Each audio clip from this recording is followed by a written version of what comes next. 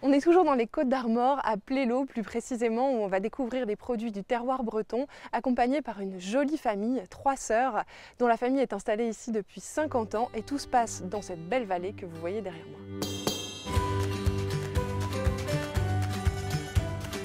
Je m'appelle Charlotte et je trouve qu'on vit dans un pays formidable. Les terroirs, la gastronomie, les paysages. Mais ce que j'aime le plus sans doute, c'est les rencontres.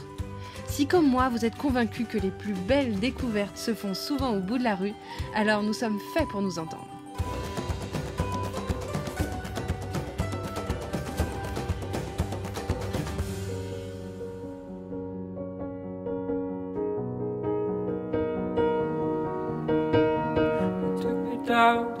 Après avoir découvert Erquy et les Côtes d'Armor côté mer dans le précédent épisode, j'ai eu envie de voir l'intérieur des terres et les bons producteurs du coin. Et si l'on commence très tôt notre journée ici à Plélo, c'est pour vous présenter une famille, ou plutôt trois sœurs. Avec un très joli nom de famille, L'Amour. Les sœurs L'Amour, ça sonne plutôt bien, non? C'est leurs parents qui avaient créé cette ferme auberge dans les années 70. Aujourd'hui, les trois sœurs sont à la tête de ce lieu au nom étonnant, le Charaban. Céline, le charaban, qu'est-ce que c'est un charaban Alors le charaban, c'est une charrette hein, qu'on trouvait autrefois dans les fermes, euh, qui servait euh, pour le transport, euh, par exemple quand on allait au marché, mhm. qu'on avait des choses à vendre de la ferme, ou quand on allait à la messe, ou si on avait une occasion particulière. Donc on attelait le charaban donc, sur le cheval qui était à la maison. Et puis on mettait ses beaux habits du dimanche. Et puis voilà, le temps s'arrêtait un petit peu, on prenait le temps de vivre et on partait comme ça au village.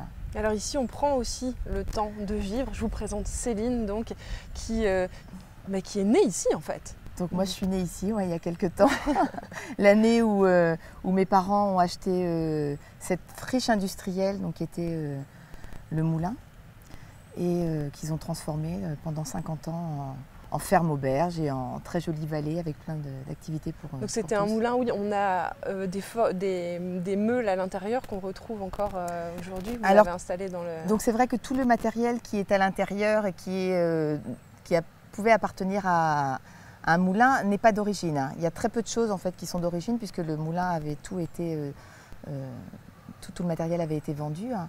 Euh, mais c'est vrai qu'on a deux meules qui servent de table et qui servaient bien sûr dans un moulin à faire la farine. Alors les parents s'installent dans les années, à la fin des années 60 et puis, et puis toi tu arrives. Et, voilà, et puis tes sœurs aussi. c'est ça, et, et, nos enfants aussi. Hein. Euh, donc mes, parents ont acheté le moulin en 69 hein, euh, avec une idée puisqu'ils avaient déjà euh, été séduits par l'élevage de poney Shetland, donc chercher un lieu pour faire un petit ranch. Puisque tous les deux ils étaient de milieu rural et à l'époque on disait aux jeunes paysans vous agriculteurs il va falloir vous occuper de tous ces citadins qui vont avoir des congés payés hein.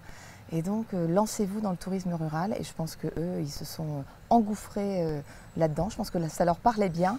Et donc, ils ont trouvé ce, moulin qui était sur la commune de lieu de naissance de ma maman. Hein. Et ils ont décidé de faire un petit ranch au départ et puis euh, de servir quelques tartines comme ça aux parents en attendant que les, enfants fassent des tours de poney. Hein. Ici, on mange, on caresse des poneys, mais on, fait aussi plein de jeux. On a vu. alors, dans les arbres là-bas, c'est assez. C'est bien caché, mais on l'aperçoit un petit peu. On peut, on peut sauter dans les arbres. Ouais, donc il y a un, parc à bout. Donc ça, c'est une activité assez récente puisque ça fait un an et demi hein, que mon beau-frère et ma soeur ont, monté ça. Et donc il y a 1500 mètres carrés de trampoline dans les arbres. Donc c'est une super sensation parce qu'on est en lévitation à 10 mètres du sol comme mhm. ça. Et puis c'est multigénérationnel puisque euh, voilà, tu peux y aller Je que les euh, à 3 ans. S'amusent euh, autant que les enfants. Tout à fait. c'est un bon défouloir. Et en même temps une bonne sensation parce que oh, tu es là au milieu de la nature. Hein. Oui, oui. Et mm. puis, oui, c'est vrai. On se sent un petit peu euh, presque Tarzan, non? Ouais, carrément. Alors, on a aussi euh, un potager qu'on ira voir tout à l'heure, mais euh, en fait, il y, a une multiplicité de, jolies choses dans cette, dans cette vallée. En fait, toute la vallée est une vallée familiale. Oui, on a, su développer pendant 50 ans plein de petites choses hein, pour agrémenter l'auberge qui est quand même euh, la production des repas, enfin la fabrication des, repas, c'est quand même le, le centre, de l'activité. Hein. Mais c'est vrai qu'on est ferme auberge, donc on produit ce qu'on met sur la table. Donc là, pour le moment, on a un, hectare et demi de légumes en plein champ où on produit euh, les légumes de la potée, qui est notre plat de référence. De référence. Euh, j'ai mon beau-frère, le mari de, ma, de mon autre sœur, qui, elle, euh, qui lui fait l'élevage des cochons, donc pour la potée aussi. C'est vrai que nous, on est une entreprise générationnelle et que nos clients sont générationnels aussi, puisque euh, moi, j'ai joué avec des gamins quand j'avais 5-6 ans et maintenant, je les vois avec leurs enfants, leurs petits-enfants. Enfin, c'est. les, les, les, grands-parents qui viennent, par exemple, cette semaine avec les petits-enfants, bah, sont bien contents de trouver des objets euh, qui leur rappellent leur euh, passé et, euh, voilà, l'expliquer à leurs petits, à leurs petits enfants pour transmettre un peu eux leur savoir. Oui, c'est vrai qu'aussi on sent bien ici. Bon, alors évidemment, c'est parce que c'est joli, mais aussi c'est parce que voilà, on sait qu'on va trouver des gens chaleureux et qu'on sera, qu'on sera bien accueillis. voilà, nous on est contents de passer toute cette journée avec toi. Super, moi aussi. Et si l'on est venu aussitôt pour passer cette journée, c'est qu'il y a la potée à préparer pour ce midi. La potée, c'est le plat traditionnel ici. Vous allez voir, ça se passe dans un chaudron au feu de bois. Mais avant de démarrer, on va voir Benjamin, le jardinier en chef. Car ici, tous les légumes proviennent des potagers de la ferme. Benjamin, euh, on est euh, face à la récolte du jour, c'est ça? La récolte du matin pour alimenter donc euh, le restaurant et tous les légumes euh, qui vont être nécessaires à la réalisation de la, de la, potée. Donc le rutabaga, le rutabaga, euh, les poireaux, et puis différentes variétés de choux, choux cabu, euh, choux lisses, et puis les choux de Milan, qui sont les choux, choux gaufrés. Qui sont tout frais Qui sont tout frais, ils viennent juste d'être ramassés, donc on ne peut pas faire plus frais. donc c'est la production principale. on en produit, on produit à peu près 12 000 choux par, par an. Ah oui, quand même, qui sont euh, tous euh, utilisés euh, ici Ils sont tous utilisés, ah oui, oui, il faut ça. poireaux, on doit être autour de 3000 poireaux, donc ça fait des grosses quantités et des grandes surfaces. Et alors il y a quoi d'autre sinon dans, les, dans les potagers Alors un peu de pommes de terre, je aussi beaucoup de pommes de terre, parce qu'il en faut aussi ben pas mal. tout ce qui est oignons, donc les oignons, les échalotes, l'ail, de la salade, voilà les productions euh, principales, un peu de céleri. Après, tout, il y a la production du jardin qui est ici. Euh, on va retrouver plus les aromatiques, tout ce qui est fleurs qui est utilisé en cuisine pour agrémenter. Et puis la production principale de cette partie-là, c'est la rhubarbe. Et c'est un gros gros boulot en fait de s'occuper de tout ça. C'est pas mal de, oui, ça représente effectivement pas mal de temps. Mais oui, oui, ça fait, il y a de quoi s'occuper. Ouais. Mais ouais. Mm. Céline, il y a combien de sortes de rhubarbe dans ce potager? Eh Écoute, nous, je pense qu'on en a euh, une petite douzaine, peut-être. Euh, que vous utilisez pour les confitures euh? En fait, c'est vrai que c'est un peu l'emblème de notre maison, la rhubarbe, puisqu'on en cultive beaucoup. On est gros consommateurs, hein, puisqu'on en sert sur la table dans les crêpes, on fait des tartes à la rhubarbe, et puis on en vend aussi beaucoup en confiture. Et c'est vrai que il y en a plein de variétés et qu'un jour on a eu envie de se payer une petite collection donc, euh, pour voir un peu les différences euh, qu'il y avait. Puisqu'il y a déjà deux, grosses variétés qui sont la rhubarbe rouge et la rhubarbe verte, hein, qui sont bien différentes hein, au niveau de la feuille et puis au niveau de la tige et au niveau du goût. Bon, il n'y a pas que de, que de la rhubarbe, hein, évidemment. Euh, il y a des ben blettes, il y a beaucoup de fleurs. Aussi, c'est très très joli. Donc c'est vrai que nous, on utilise beaucoup les fleurs dans la, en cuisine, enfin surtout dans les salades, dans la décoration des desserts puis parce que c'est joli euh, dans le jardin aussi, hein, c'est un peu jardin de curé, on, mélange euh, les légumes et les fleurs, et puis parce que souvent euh, ça s'apporte mutuellement des choses. Hein, c'est très très bien entretenu. Alors il y a une chose que j'adore dans ce jardin, c'est que tout le monde peut y entrer. C'est vrai. Et ça... mais, toute la vallée est ouverte à tout le monde. Hein. C'est vrai que les gens peuvent venir juste faire un tour, voir l'évolution au fil des saisons. Alors, il y a des choses qu'on retrouve dans l'assiette, évidemment, euh, là-bas. On a parlé de la rhubarbe, le chou aussi, peut-être. Voilà, euh, mais nous, toute notre production n'est pas faite ici, puisqu'on est tout, ce qu'on produit en fait est fait sur la, ferme de ma sœur. donc les choux, les navets, les rutabagas, les oignons, les poireaux, les pommes de terre. Qu'on retrouve dans la potée. Donc on retrouve dans la potée, c'est ça.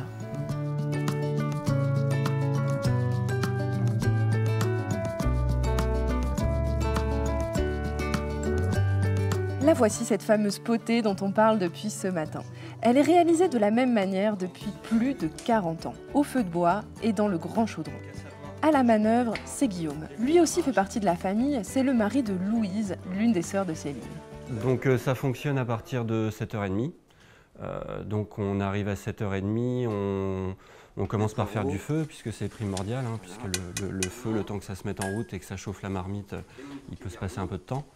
Euh, on va mettre l'eau à bouillir et on va commencer à mettre les premiers ingrédients qui sont la viande, euh, les petits légumes et tout ce qui est assaisonnement. Voilà. Alors en gros, au niveau des petits légumes, on va retrouver euh, essentiellement oignons, échalotes, céleri, rutabaga. Ensuite, pour ce qui est des légumes, on va retrouver également du poireau, carottes et pommes de terre. c'est vrai que ça nous fait démarrer peut-être un peu plus tôt le matin, mais en même temps, le fait de faire au feu de bois nous dégage du temps entre les étapes pour faire de la préparation. préparer les choux, préparer les carottes, les pommes de terre, qui elles vont, vont être mis dans la potée un petit peu plus tard dans la matinée. donc finalement, tout ça euh, ça s'emboîte pas mal pour que sur la matinée, on arrive à faire de la potée pour 100 euh, voire 150 personnes. Il faut maintenant plusieurs heures pour que ça cuise, ce qui nous laisse un peu de temps pour discuter avec les trois sœurs Lamour. Alors, de gauche à droite, Céline que vous connaissez déjà, Jeanne Noël et Louise, la femme de Guillaume. Moi je suis la fille aînée et je suis la gérante de la SRL de famille, donc je suis gérante minoritaire et je gère toute la partie administrative donc la gestion des salaires, des factures, des règlements, les déclarations diverses et variées. Et je fais aussi l'accueil à la salle et l'accueil téléphonique et les encaissements euh, en fin de service. Donc moi je suis plus au niveau de la gestion du personnel, euh, gestion des stocks, euh, cuisine. et voilà. C'est vrai que quand il y a les services, bah, c'est moi qui drive un peu, enfin c'est moi qui drive la cuisine. Voilà. Donc je me situe là où, où il y a besoin. Et moi, je suis euh, à la fabrication euh, au niveau de la crêperie, en cuisine le matin. Et autrement, euh, je m'occupe des deux boutiques qu'on a. donc celle sur place et puis celle qu'on a à la mer. Voilà, et puis l'aménagement aussi un peu. Et puis après, on est super polyvalentes toutes les trois puisqu'on peut se remplacer. C'est vrai qu'on a toujours travaillé un peu les vacances, les week-ends pendant notre scolarité même les deux mois d'été, on trouvait ça insupportable. On avait des, copines là, qui, ne faisaient rien pendant deux mois. On trouvait ça trop génial. Et nous, on était au boulot euh, euh, avec nos parents. Donc bon, on avait droit à des jolies vacances après. Donc on s'était dit. Euh, et ce qui était quand même super, puisqu'on souvent on revoyait quand même. enfin, toute notre jeunesse, on a revu des gens avec qui on jouait, ou enfin quand on était plus petite, avant qu'on vienne donner un coup de main, quoi. Mm. Donc, euh, mais, et c'était bien aussi de prendre les choses en main. Enfin, moi, je me souviens la période où on gérait la salle, euh, mm-hmm. où les parents n'étaient pas en retrait, c'était peut-être plus en salle, en cuisine, mm. et que nous, on, voilà, on faisait le planning. Euh, c'était bien aussi. Hein. Mm. Donc les parents disaient pas forcément oui, il faudra reprendre l'entreprise, mais sûrement qu'inconsciemment, c'était dommage d'avoir un, bel outil et qu'on s'en aille. au niveau des études, on n'a pas forcément brillé, parce que travailler les week-ends, la semaine, on, se reposait un peu. Donc voilà. Mais c'est vrai qu'on ne s'est jamais posé la question, euh, étant petite, si euh, oui, on reprendra le charaban, euh, l'entreprise familiale. Ce que, peuvent, vrai que ce que peuvent penser nos enfants maintenant. Oui. Maintenant, c'est ça. Pose la question. On, sent qu'ils peuvent être plus intéressés maintenant. Quoi. Mm. a... Nous, on habitait sur place aussi, donc du coup, c'était tout mélangé. Quoi. Mm. Que nous, nos enfants viennent ici, donc il y a un peu un côté, ils se retrouvent, c'est un peu tous les cousins, il y a 12 cousins cousines, donc ils se retrouvent, c'est un peu la fête. On reprend notre balade avec Céline, notre guide de la journée. Elle nous emmène juste en dessous du restaurant dans sa boutique brocante. Céline, on va de découverte en découverte, c'est un peu la, caverne d'Ali Baba ici. Hein. Écoute, c'est le mot que j'entends le plus, je pense, dans cette boutique. Donc ici, c'est né au départ euh, d'une brocante. Ma mère adorait la vaisselle. Et c'est vrai que quand euh, ils ont décidé de développer en ouvrant une petite boutique, euh, ben voilà, c'était la vaisselle de grand-mère, les On sent que la passion de la vaisselle s'est transmise. C'est vrai, c'est vrai. Mais c'est vrai que c'est très joli. Il y a des jolis décors. Le verre, ça met beaucoup de lumière dans une maison. Donc, et c'est vrai qu'au fil du temps, après, ça s'est développé un petit peu avec des objets de déco aussi. Oui, parce qu'il y a de l'ancien, mais il y a du neuf aussi maintenant. Il y a les deux. Voilà, maintenant c'est bien mixé, puisque moi je trouve que les deux se mettent bien en valeur. On a, on a vu des pommiers tout à l'heure. Est-ce que c'est ici aussi que, sont vendus les produits euh, Donc nous, c'est vrai qu'on a 100 pommiers euh, donc, euh, à l'endroit où moi j'ai des chambres d'hôtes, donc un petit peu au bout de la vallée. et on est producteur de cidre et de jus de pomme. Et on fait aussi nos confitures. Et on a aussi 10 ruches, donc on fait aussi notre miel. Voilà, tout ça, c'est vendu euh, dans la boutique. Tout ça, ça se retrouve ici. Mmh. il y a d'autres produits euh, locaux, hein, c'est ça enfin, Moi, j'ai vu euh, une pâte à tartiner bretonne. Oui, c'est ça. on travaille avec, avec les, producteurs locaux parce qu'on a la chance, c'est vrai, en Bretagne, d'avoir quand même une grosse production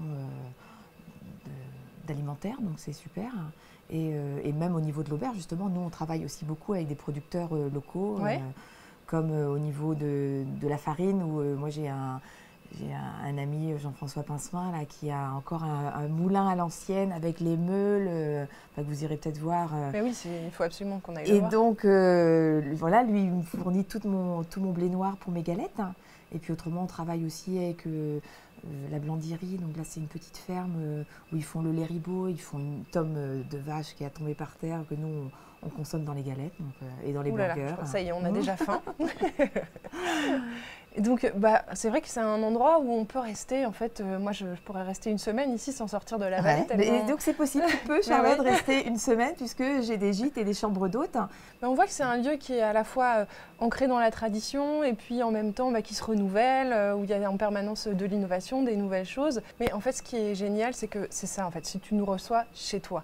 C'est exactement ce que tu dis. Ah bah on reçoit les gens chez nous et on le sent. C'est notre, notre euh, environnement, notre cadre de vie. Hein. Donc euh, c'est vrai quand on, améliore quelque chose, on l'améliore pour nous et pour nos hôtes. Vous avez bien entendu Céline Une tome de vache a tombé par terre. Ça vous donne envie d'aller voir, non? Alors on quitte le Charaban pour aller à Saint-Donant, c'est à quelques minutes d'ici, pour rencontrer Véronique. C'est elle, avec Christophe son mari, qui fabrique cette fameuse tome. En arrivant chez eux, la traite des vaches est déjà terminée, mais Véronique est en plein travail. C'est l'heure de la mise en bouteille du lait ribot. Vous ne connaissez pas? C'est une spécialité bretonne délicieuse. Véronique, on vient de la part de Céline du Charaban qui nous a dit que vous fabriquez ici une spécialité bretonne, le lait ribot, c'est ça? Tout à fait, oui. Alors comment qu'est-ce que c'est déjà le lait ribot au départ? Le lait ribot à la base, c'est euh, lorsqu'ils mettaient la crème dans la baraque pour faire le beurre, il y avait un, liquide qui restait et c'était le bas beurre, ce qui était appelé le lait ribot. Ouais. Et ça, ça se consommait comment? Euh, Avec des pommes de terre et des galettes. Donc aujourd'hui, ce lait-là n'existe plus. En fin de compte, c'est du lait euh, dans lequel on ajoute un ferment et qu'on laisse fermenter qui, qui ressemble au lait ribot de, de, de, fermentation un peu comme du yaourt, sauf que là, on est sur quelque chose qui est liquide. Voilà, ça, hein voilà. Et puis donc ça se mange sur les pommes de terre. Pommes de terre, euh, galettes, euh, comme ça. donc à la fois un peu sucré, un peu salé, euh, c'est. Oui. par contre, ça ne se chauffe pas du tout, sinon il tourne. D'accord. Donc toujours frais. Voilà. Alors vous ne faites pas que du lait ribot ici, vous faites aussi des fromages, c'est ça? Fromages. Ils sont derrière nous. des petits fromages frais, soit à tartiner, à toaster, qui se cuisinent également. Nous, on les met dans nos galettes, on mange des galettes tous les vendredis soirs, donc on met dans les galettes, dans les croque monsieur. Et ici, donc ça, c'est un peu votre touche euh, euh, nouvelle, euh, puisque c'est une, exploitation qui, existe depuis longtemps, c'est l'exploitation de vos beaux-parents, c'est ça Au départ, vous produisiez juste du lait, et puis ça s'est diversifié, c'est ça Donc c'est eux qui ont commencé à faire du lait ribot. ils ont commencé par du lait cru et après le lait ribot. Et euh, donc moi je me suis installée en 2007 avec mon mari et donc on a fait les fromages frais de la tome. Et la tome, elle est juste à côté, c'est ça, elle affine Voilà. C'est combien de temps d'affinage à peu près euh, euh ça, peut ça dépend, c'est un mois, un mois et demi, voilà. Ah, 12 degrés 7, c'est ça? Voilà. je triche un petit peu. Hein. Tandis que les fromages frais, là, ça prend quelques jours, hein, c'est ça? Voilà, c'est fait dans les 3 jours, 3-4 jours. Ils sont là, hein, c'est ça. Ils sont voilà. voilà. Ça s'égoutte pendant 4-5 jours Non, euh, non jusqu'à demain matin. je vais les tourner ce soir, de parce que l'autre côté s'égoutte. Et euh, là, ils, étaient pleins et ils vont arriver à la moitié. Ok, et ensuite voilà. de la moutarde Donc, euh, il y a poivre, échalote, tomate basilic, nature, oignon, ail herbes et poivron, graines de moutarde. Et tout ça en famille voilà, avec, avec mon mari. voilà. On a juste quelques kilomètres à faire pour aller rencontrer Jean-François, qui lui aussi produit pour le charaban. Dans son moulin, il fabrique la farine de blé noir. Pour les galettes, évidemment. Votre temps, il s'organise comment en tant que meunier? Parce que vous travaillez seul ici? Alors oui, euh, je travaille seul. Alors, il y a des, ben, des jours quand je tourne et que je produis de la farine, euh, je fais que ça de ma journée. Donc, je ne suis pas trop disponible pour autre chose. Et, et puis, en dehors de ça, ben, j'ai de l'entretien, des livraisons. Euh, et vous allez J'alterne. Oh, je vais jusque, jusque le, dans le Trégor, la région de l'Agnon, enfin principalement, grosso modo, la partie ouest des Côtes d'Armor. Vous n'êtes pas tout à fait tout seul parce que vous avez euh, deux compagnons à ah quatre oui, pattes. Les chats. Alors, est-ce que tout bon meunier doit avoir un chat? Je ne sais pas. c'est l'image d'Épinal un peu. Oui, oui, oui. Un moulin artisanal comme le mien, je dirais oui. Un moulin industriel comme les beaux moulins aujourd'hui, non. C'est pas obligatoire. mais Tout est hermétique dedans. C'est quand même utile pour chasser, euh, pour chasser les mangeurs de grains. Ça, ça évite d'avoir des pirates, oui.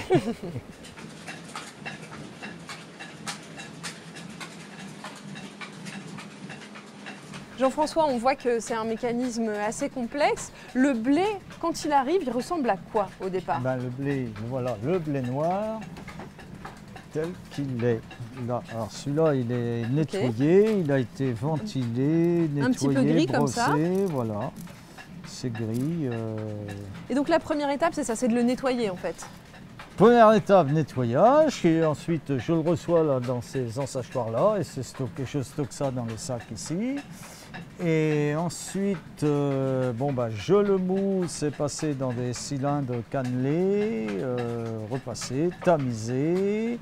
Tamisé, ça sert à enlever la, voilà, bah, la, ça, coque, c'est ça hein Voilà, ça sépare la cosse, le son, la farine. Il y a une première partie qui va dans la mélangeuse, la farine, le son que je récupère dans des sacs en bas et que dans une deuxième phase, je remous à la meule. Avec la grosse meule qui est là en dessous, avec la meule qui est là.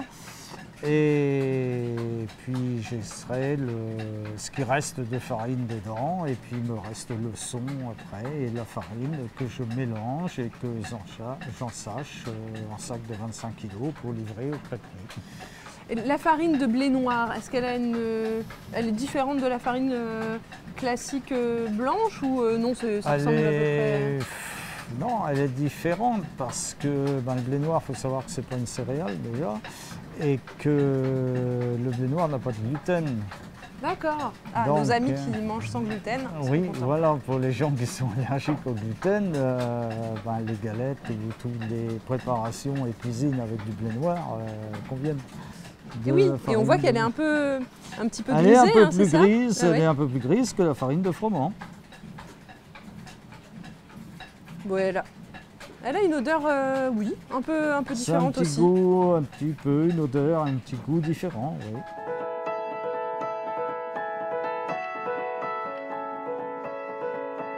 Et nous voici de retour au Charaban après cette petite escapade à la rencontre des producteurs qui travaillent avec Céline et ses sœurs nous la retrouvons de l'autre côté de sa petite vallée. On est sur un lieu que mes parents, moi, ont investi en 87, hein, donc l'année où il y a eu la grande tempête en Bretagne, euh, parce qu'ils étaient passionnés du monde rural et qu'ils voulaient faire un musée paysan au départ. Et ils s'étaient installés ici puisque c'est une, architecture un peu particulière. On est sur une ancienne mode féodale. Mhm. La rivière donc, qui sépare euh, ce côté-ci, de l'autre côté, et la frontière linguistique entre le pays breton et le pays gallo. Donc de ce côté-ci, on est le pays euh, gallo, et de l'autre côté de la rivière, c'est le pays breton. Hein. Et ton père parlait euh, en langue gallo, c'est ça? Tous les deux, mes parents parlaient le gallo tous les deux. Hein. Et c'est vrai qu'à une période, quand ils faisaient les visites du musée, ils le faisaient en gallo, la, ils faisaient la balade en gallo, et c'était super. Hein. Et ici, donc la ferme était, euh, a été construite sur un promontoire en mode féodal. Euh, parce qu'on imagine qu'il y avait un passage à guet entre ces deux pays. Ces deux régions, oui, voilà. qui pouvaient... Euh, qui, voilà, contrôler presque, un petit peu. Qui étaient presque deux pays différents. On pense que c'est pour ça que c'était un relais de diligence. On pense qu'il y avait euh, donc une forge, des écuries, hein, donc ce qui montrait que la ferme était quand même conséquente. il y avait une étable, des sous à cochon, un fournil, donc on faisait le pain aussi. Et c'est vrai qu'à une époque, nous, on a fait le pain ici aussi, dans, dans, dans, ce lieu. Hein. Céline, on a rencontré ta famille, tes sœurs, euh, on a vu aussi tes enfants. Euh, euh, c'est ça, c'est la transmission qui est importante ici. Oui, c'est vrai que l'entreprise a presque 50 ans, que nous, on a repris après nos parents et qu'il y a 12 petits-enfants dans la maison et qu'il y en a sûrement un certain nombre qui, seront, enfin, qui déjà participent hein, et qui sûrement seront intéressés pour s'investir aussi dans le lieu et, voilà, et continuer l'aventure de la famille. Ah bah, même quand on ne le connaît pas, c'est un coup de cœur. Alors j'imagine que quand on y a ah, bah, grandi. merci. Hein. Bah oui, c'est un coup de cœur aussi d'y vivre, hein, bien sûr. C'est vrai que cette journée est un véritable coup de cœur. Mais cela dit, les Côtes d'Armor en général, rappelez-vous dans le précédent épisode, on était si bien à Erquy. Et en attendant de vous retrouver avec plaisir dans un prochain épisode, je vous donne rendez-vous sur terredefrance.tv.